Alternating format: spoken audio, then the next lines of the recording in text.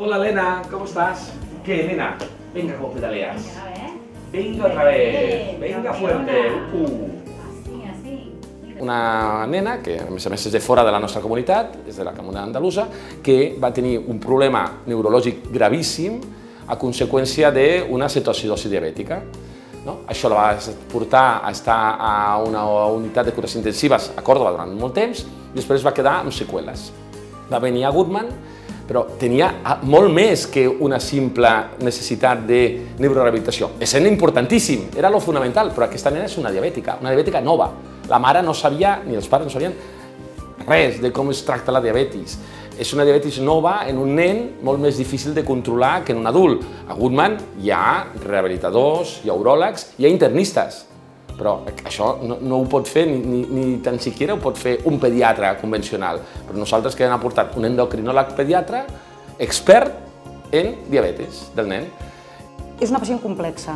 És una pacient complexa que requereix, d'una banda, un tractament neurorehabilitador, però també requereix d'una intervenció pediàtrica específica. I eh, jo penso que, doncs, de que la col·laboració d'un servei de neurorehabilitació amb un servei de eh, pediatria de l'Hospital de Germans Trias i Pujol, el que dona, evidentment, és una intervenció coordinada eh, i, evidentment, una intervenció més eficient de cadascun dels problemes que pot comportar la nena en, el seu, en, el seu, en la seva evolució eh, de la malaltia.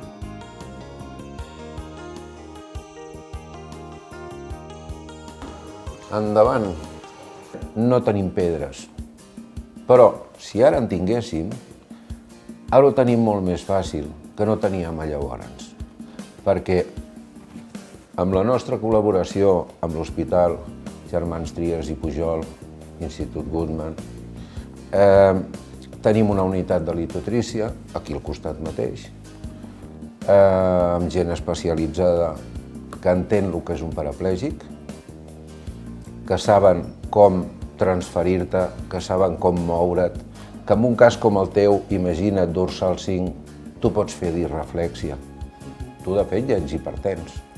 L'Hospital Veí, Germans Trias i Pujol, pues, és el que disposa de tota la tecnologia més avançada del moment.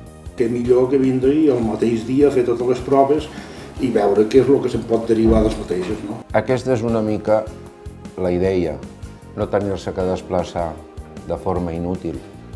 Eh, en poc espai de temps poder-li fer el màxim de coses que se li hagin de fer. En el caso del paciente que visitábamos, Joan, hasta ahora no ha requerido de nuestros servicios, pero que en el caso de, lo que los, eh, de que los requiriera, básicamente lo que estamos favoreciendo es su accesibilidad al, al sistema de salud sin perder el contacto, que esto yo creo que es muy importante, con, los médicos que le tratan desde hace 30 años, puede prolongar su asistencia urológica eh, de una forma más, más, integral, de una forma más, más completa. Esta colaboración eh, creemos que proporciona obvios beneficios al paciente, pero por qué no decirlo también a los profesionales urólogos de este hospital que tienen también eh, facilitado el acceso a una subespecialidad que de otra forma sería mucho más, mucho más complicado. Básicamente el beneficio que obtiene el urólogo es en forma de conocimiento. És a dir, d'alguna manera el nostre coneixement l'hem pogut exportar i quan un pacient que va cap a l'hospital veí Germans Trias i Pujol té gent que l'entenen, que el comprenen. Primer els dona molta seguretat i tranquil·litat perquè saben que eh, s'estan abordant tots i cadascun dels problemes de forma coordinada. És a dir, no han d'anar a picar a cada porta, no han d'anar al metge radiador, anar al pediatre, anar a l'endocrinòleg, etc, sinó que saben que aquests problemes són abordats de forma coordinada i la informació que a ells els hi arriba és una informació consensuada y sense discrepancias. Yo pienso que si, si, si este convenio de colaboración ha de ser bueno para el paciente, ha de ser bueno para los, para los profesionales, obviamente será bueno también para, para la sanidad catalana.